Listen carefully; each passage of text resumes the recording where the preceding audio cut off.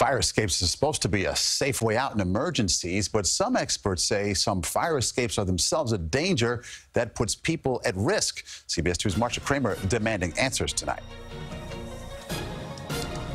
You see the tread already dislodged by itself? How much rust is inside that? I wouldn't go on this fire escape. It was an eye-popping afternoon with nationally recognized fire escape expert Cisco Meneses. Come over here and look straight up. There's a hole.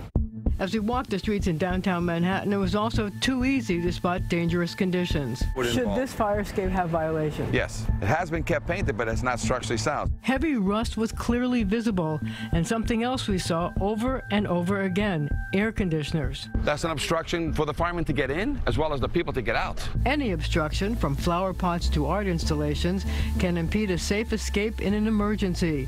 But even more frightening, the structural integrity of fire escapes designed to save lives lives in some cases has proven deadly. Earlier this year in Soho, a tread fell from this fire escape and killed one pedestrian and injured another.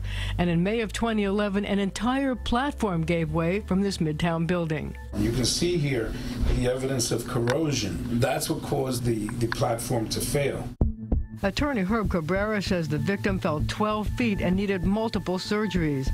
The building eventually settled the lawsuit for millions. You got to live with pain for the rest of your life. According to the Department of Buildings, there are about 200,000 fire escapes in the city, and they are all required to be maintained by building owners.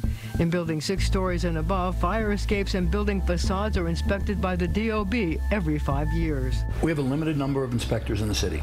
We do the best that we can. And they were clearly concerned concerned when we showed them some of what we found. This is a clamp. How do you feel about that? It's holding the fire escape together. That's an unacceptable condition.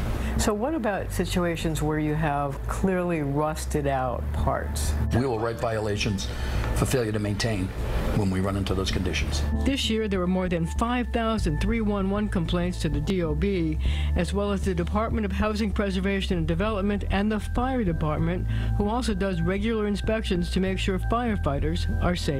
If you feel a fire escape is, is dangerous uh, or unsafe, we don't expect our members to, to go on. The Fire Department says they will put up ladders or find another way in. Firefighters have been uh, seriously injured on fire escapes previously. There's a dear price to pay when an owner does not carefully maintain the fire escape. The fire escapes on some of the buildings can be 75 to 100 years old.